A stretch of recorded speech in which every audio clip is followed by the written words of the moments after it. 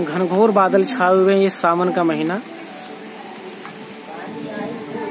जैसा सावन में कहा जाता है, सुना जाता है कहानियों में, किताबों में, उस तरह का मौसम चारों तरफ़ बादल छाए हुए हैं। हवाएँ बहुत तेज चल रही हैं। बरसात हो रही है चारों तरफ़ धान की खेती। ये विद्यालय, प्राथमिक विद्यालय, जो काफ़ी संघर्षों के बाद बना गाँव में।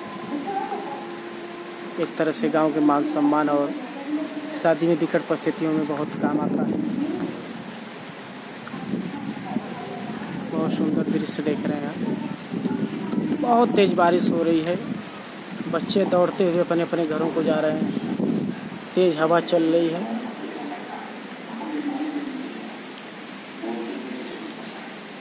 चारों तरफ़ बादल छाए हुए हैं आसमान में।